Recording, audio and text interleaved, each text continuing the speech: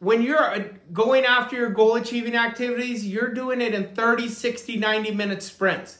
Where these are focus sprints where you do not get distracted. You literally put your phone on do not disturb.